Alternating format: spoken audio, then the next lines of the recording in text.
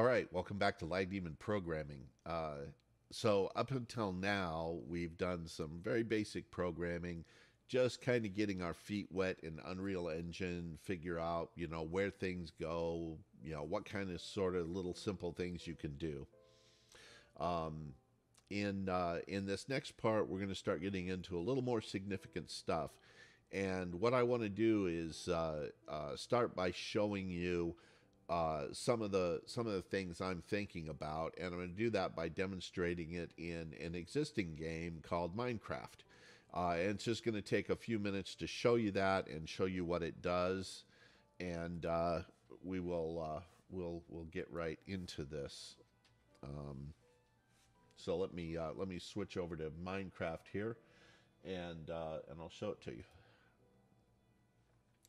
So here we are in in a uh, creative world that I have uh, where I experiment with things, and I've just set up a little simple situation here with some uh, with some dirt that's ready for planting. This is done by hoeing the dirt. There has to be a water source nearby, or it'll dry out and you can't plant in it. And I've got some seeds, and uh, I've set uh, a game rule.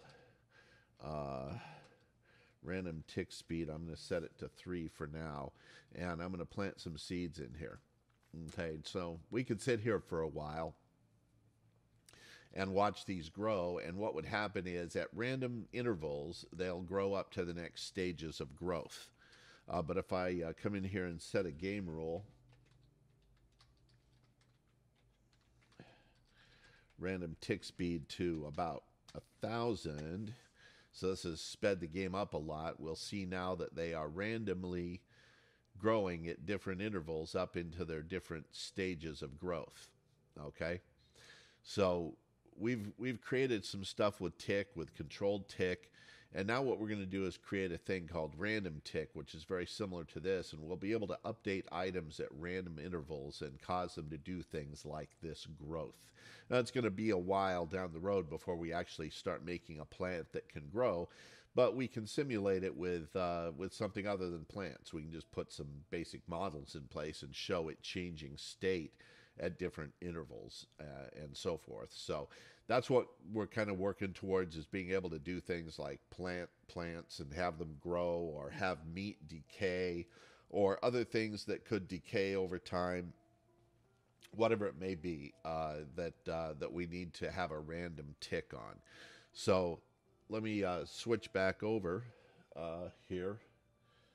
Uh, we'll switch back over to the camera for a moment and we'll uh, bring up uh, Unreal Engine and start looking at uh, some of the code that we'll need to do for this. So let's go back to here. So here we are in Unreal Engine, and we have our uh, Tick Manager actor. So let's uh, let's open that up.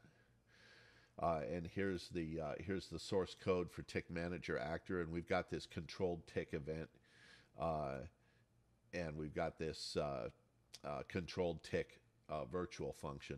And in the C++ code, all we did was with tick was we detected an elapsed time, and we we fire this. And so this is firing at irregular intervals.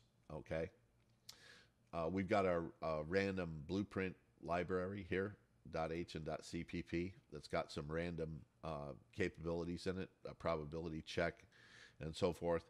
Uh, the random dice roll is good. Uh, what we're going to start off with here is creating another uh, random function.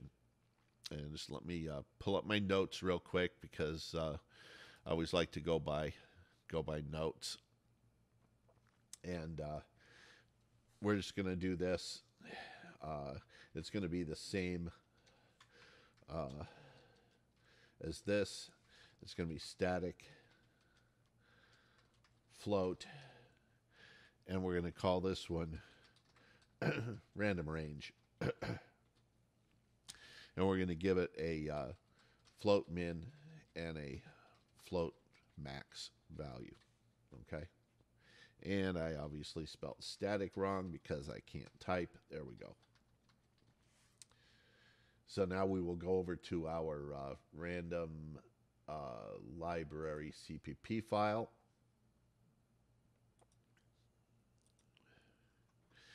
And this is a very, very simple one. Uh, let me go back uh,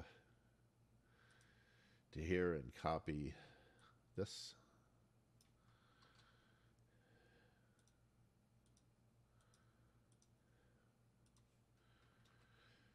And we'll put this in since it's part of this class. So here's our implementation.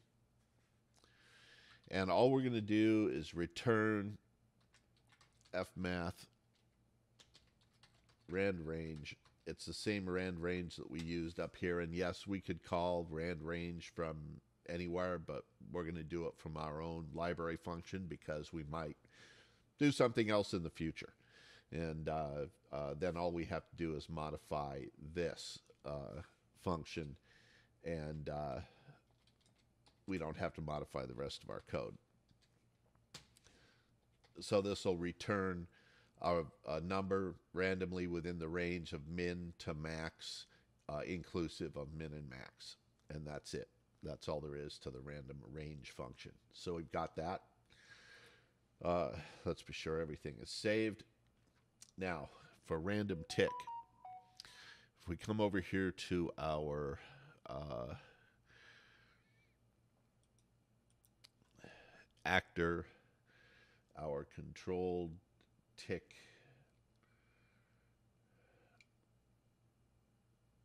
where did I put it? Tick manager actor. That's it. Tick manager actor. Uh, we need to add a, a couple of things in here. So uh, we're going to have some properties now. We're going to have a U property. And we're going to call, we're going to have this be edit anywhere. And we'll make it the category equals settings. And this is going to be a Boolean value called enable random tick. And we're going to set it by default to false. So the, the random tick won't even happen on an object unless this is turned on. And then we have two others. And for this purpose, I'm just going to copy paste. Oops. I'm just going to copy paste these two in the minimum and maximum. And then we're going to have a U function that is our random tick event. And this is a blueprint implementable event. So we won't be implementing this. We'll implement it in blueprint. Uh, if we do need to uh, implement it uh, or have a random tick. Ah, yeah. If we need to do it in Blueprint, we will override a virtual function called random tick. Okay. And uh, so the only thing that we, so these are uh, that's set to 60 to 600 seconds, one minute to uh, five minutes. Is that five minutes or 10? That's 10 minutes. Duh, 600, 60 times 10. So from one to 10 minutes is the default. Uh, and we will, uh, and that's adjustable in the uh, in the blueprint when you make a blueprint from this. So uh, let's go ahead and implement uh, this. We could make if we made this a pure virtual function, we'd have to make this thing. It would become abstract, and we wouldn't be able to implement it directly which is fine. We could do that, but uh, let's uh, let's just go ahead and create an implementation of our random tick virtual function um, in here, tickmanager.cpp.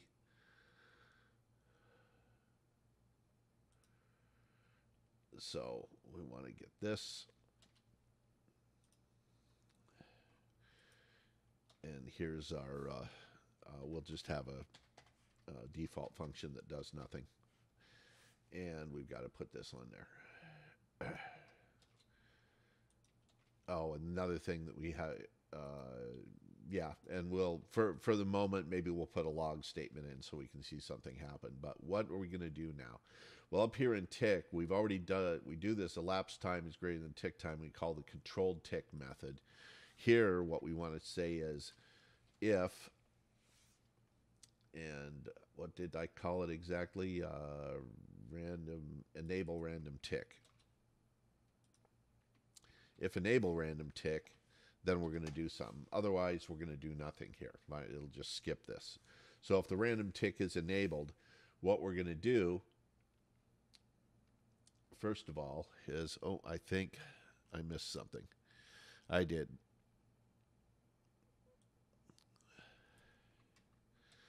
Copy these and go back to the header file. We need uh, a couple more privates down here. Uh, this random tick elapsed time is how much time it's been since the last random tick occurred. And this float is when the next random tick should take place. So uh, actually, we need to go to our, uh, yes, okay, so let's go back to our here. So here we are in our enabled random tick. All right, so the first thing we want to do is check to see if the next random tick equals equals 0.0f. Uh, if it does, then it has not been initialized. And so we're going to say next random tick equals u randomizer u randomizer blueprint library And I think my problem here, why it isn't picking it up, is I didn't include the header file. Yes, that's probably it. So let's go up here and put the randomizer blueprint header library in and we can go randomize you we can go it's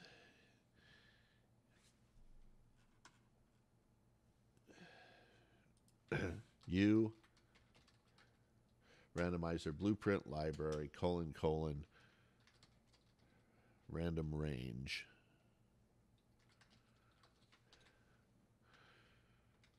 Random tick. Random random tick minimum random tick maximum. Yeah random tick minimum random tick maximum. Uh, so we'll just pop these in. For some reason, IntelliSense just has a tough time with uh, with C++. So we'll just pop these in there. And I'll pull this down a line so it's a little easier to see. So that's uh, so we've got our next random tick. Then what we want to do is go random tick elapsed time plus equals delta time. So we we've come into a new real tick, actual system tick. Want to add the current delta time, how much time has lapsed to the random tick elapsed time. And then check to see if the random tick elapsed time is greater than or equal to the next random tick. And if it is, we're going to call that virtual function random tick. And we're going to pass in the random tick elapsed time, not the delta time. We want to know how long it's, we want to be able to tell it how long has happened since the last random tick came in, which is in, in real time, seconds. And then we want to set the random take elapsed time to zero. And then we want to set the next random tick equal to this and get a new random tick value. A new so when the next one is going to be is now another random value. So we randomize it the first time, it passes through and it says, okay, and we could do this up in the constructor, I guess. We could set this first one, which would probably be better uh, rather than doing this. Uh, let's do that. Let's move this up to the constructor. So it sets the initial random tick. It doesn't matter uh, that it's doing this. In fact, we should surround with this with if random tick if enable.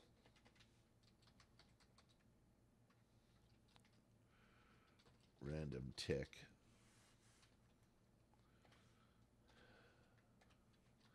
We'll put this in here.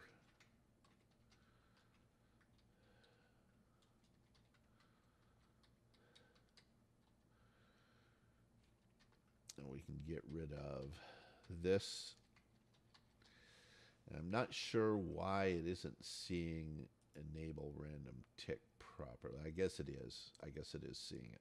Okay, enable random tick. So if our random tick is enabled on this on any particular instance of this, then this is going to get called. We'll add the uh, delta time to the random tick elapsed time. If it's greater than the next random tick, which was randomly set, we will call this random tick virtual function. Uh, and we can override that. And the random tick uh, virtual function uh, uh is what's going to call the blueprint uh, implementable function as well. So all we have to do from here and then it sets the next random tick. So we get random varying ticks at different times within our range of controlled, and within our controlled range. So all we have to do in random tick is call the random tick event with this delta time, which is the time that was passed in, which is actually the time since the last one. So uh, we can save all that and go back to uh, go back to Unreal Engine and we will compile and hopefully I did everything right and we don't get any errors. That's so unlikely. uh, and it shouldn't take too long to compile it's taking a while, which means it's probably already passed my code and it's doing something in uh, deeper in the engine at the moment. Maybe, maybe it'll pass. Usually, if it fails, it fails pretty quickly on these, unless it's just slow for some reason. I'll pause the video and come back when it's done compiling.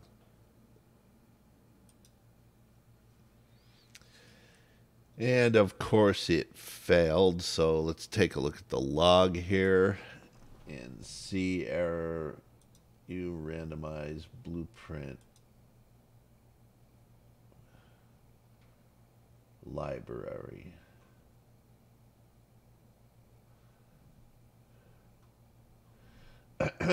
okay, let's look at that again. What did it say? I'm sorry, I know that this window's a little, probably a little hard to see in the video. You cannot access private member. Oh, okay. Did I make a mistake here? Um, random library H.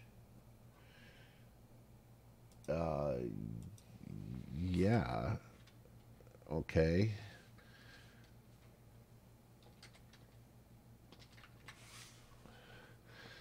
Well, let's try to compile that again. I hope it doesn't take quite so long this time.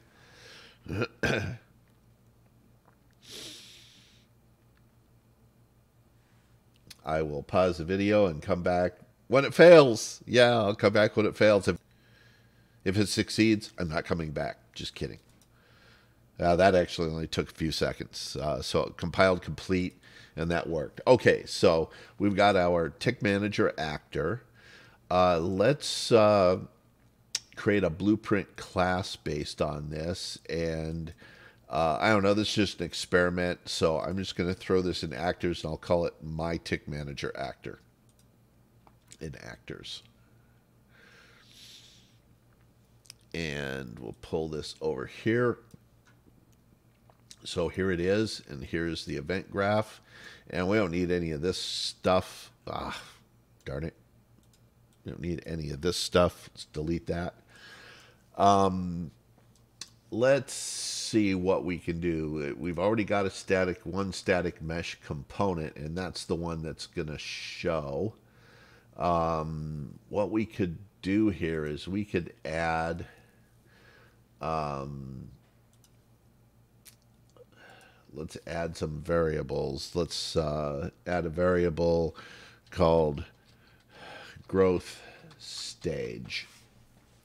And let's make it an integer and we'll compile and that's defaulted to zero. So growth stage zero. Okay. So let's just uh, well we'll just do this very simply. Let's go uh, random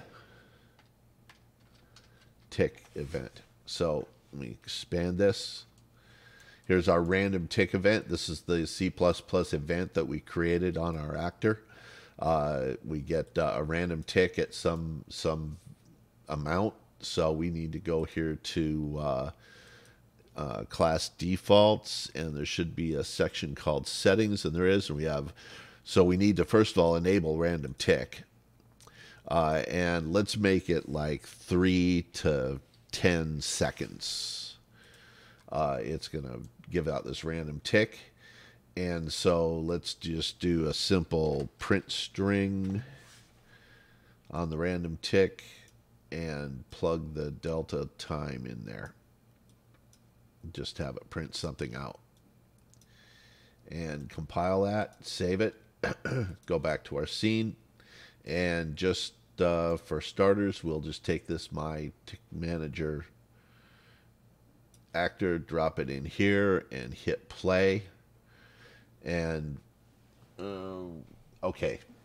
So I think this is the same thing I ran into before. I've already got something in the scene that's printing something out. I do. It's that. And where's the My Tick Manager actor? I should have given it something. There it is. Let me pull it up a little bit and so we can see it. Ah. Okay, what's what's wrong? Why can't I move what?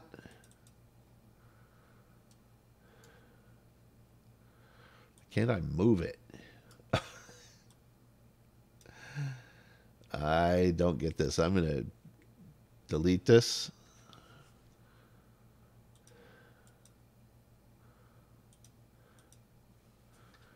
There. I'm going to open this back up. I'm going to give this something. Uh, we'll give it a. Uh, uh, not that. We want to go to the static mesh component and let's make it a one meter cube compile. Okay. We get up off the floor here so I can see what's going on. And we'll take this and we'll drop it into the scene and raise it up a little bit. And we'll hit play. And we should start getting, uh, am I going to crash? Oh, didn't crash. Okay lighting needs to be rebuilt. Okay, great. So there it is. It printed out after five seconds, but I see another little problem I'm going to fix real quick here. Let's go back to this. Let's go pull this down, and let's just set this duration to zero so they just stay on the screen. Ah, come on. Zero. Okay. Compile. Save. Hit save all and then let's make this screen a little bit bigger for you. In fact, what I can do is pop this out uh, to a uh, new editor window and we'll just pull it over here. That way I can do this, make it big, and we can see what's going on. So three to five seconds here, it should print something out. Really? Not going to print anything out? What did I do wrong now? Blueprint three to ten seconds. Duration, well, let's let it last a minute. Maybe it didn't like that zero for some reason.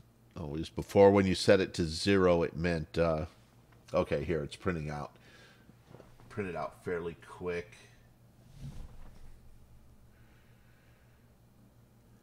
There again. So we're getting our random ticks at random tick intervals. That one um, fairly quick. I think we're passing in the wrong delta time. Oh no, that was nine seconds. Okay.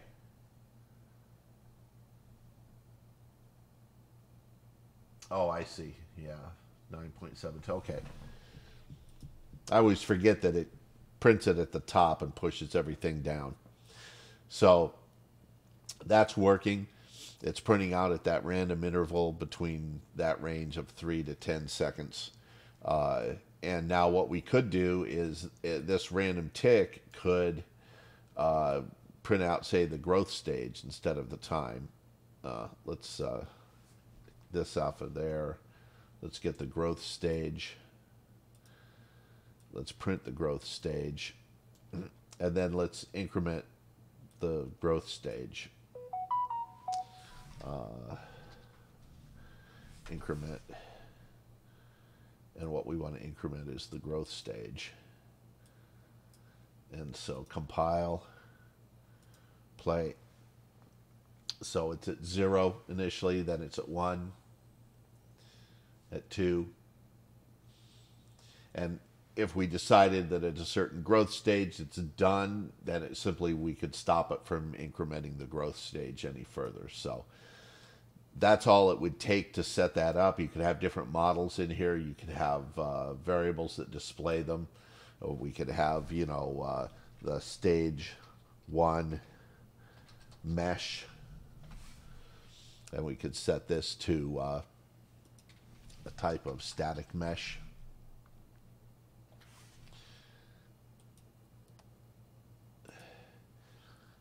And so forth. We could have a stage two mesh, or we could make this, uh, uh, we could instead, let's make this uh, stage meshes and pull this down here and make it an array.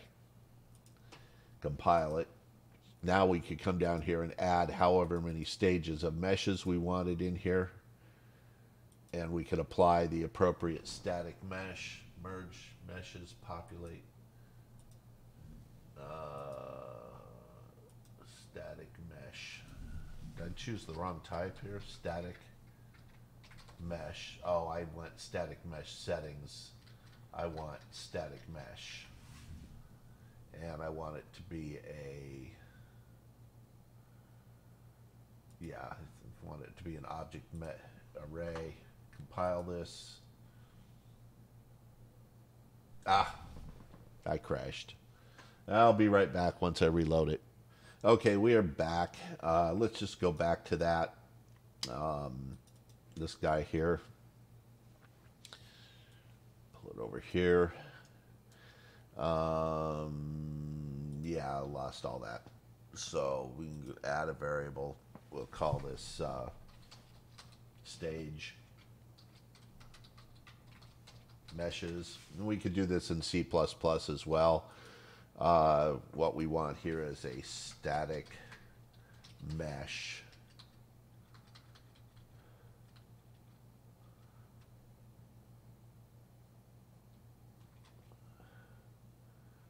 What we want is a static mesh object reference as an array. And then we hit compile and save. And then if we hit plus, there we go, we can add some static meshes. So we could add uh, the first person projectile meshes, stage one, and stage two could be uh, one meter cube chamfer, and then, then stage three will make it a one meter cube. And then what we can do here we have this static mesh component. So let's say, uh, let's get rid of the print string. We've got our event. uh, let's do uh, on uh, begin play. Let's take this and do a set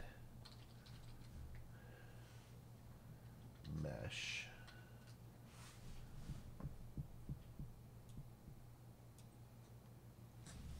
Set static mesh.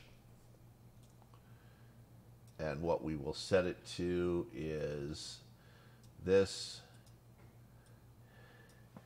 We'll do a get zero and we will on begin play set it to zero.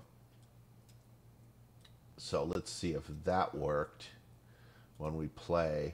Yes, it's the, the zero position.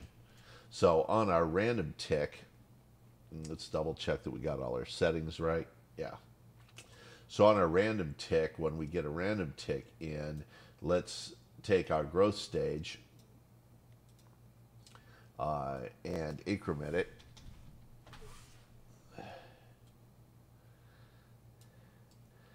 And then actually, let's drop this into here so that it gets it from the growth stage. On begin play, we'll call that, but we'll also call this from here. Ah, come on. And this is kind of sloppy. That's just for demonstration. We would set this up as functions and we would do this in a more appropriate way, but let's, uh, let's save everything so we don't lose anything this time. If we crash, and we should be able to play now and wait an appropriate amount of time.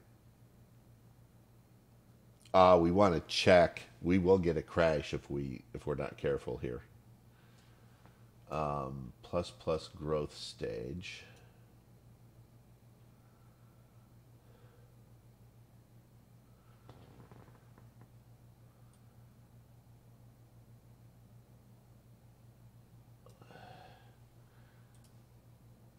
Think we have to set the growth stage.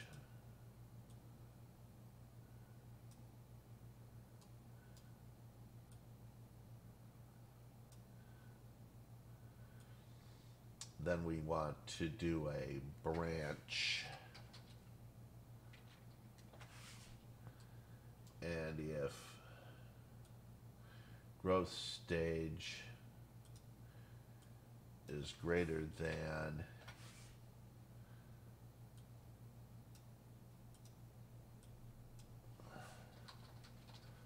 length of this, if that's true, we want to set the growth stage back to zero. And then call this. Otherwise, we just want to call this and so let's move this down here. kind of sloppy, but it should work. save. Save all. Save selected. And let's see if four, five, six, seven, eight, nine, ten. How come it's not changing? Let's look at the blueprint. I'm going to move this out of the way. Our doesn't look like our random tick event is firing. Event random tick event.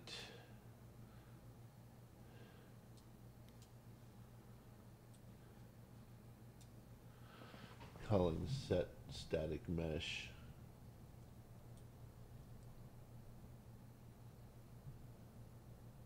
Ah. So we're getting some errors here. Calling set static mesh on, but mobility is static. Ah, okay.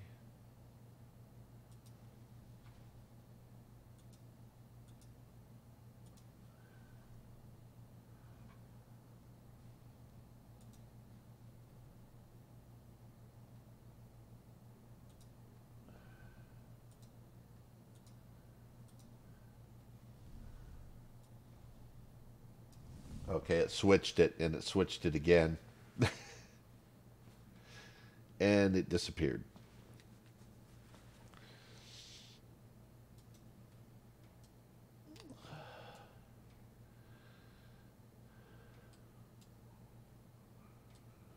Set. Growth stage to zero.